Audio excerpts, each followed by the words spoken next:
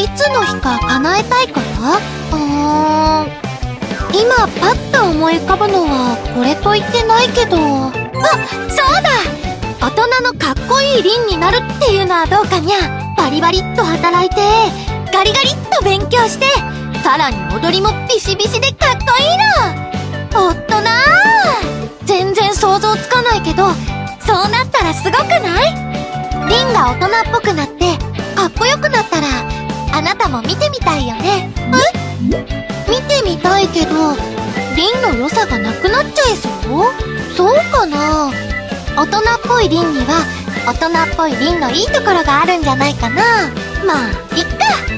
それより凛お腹すい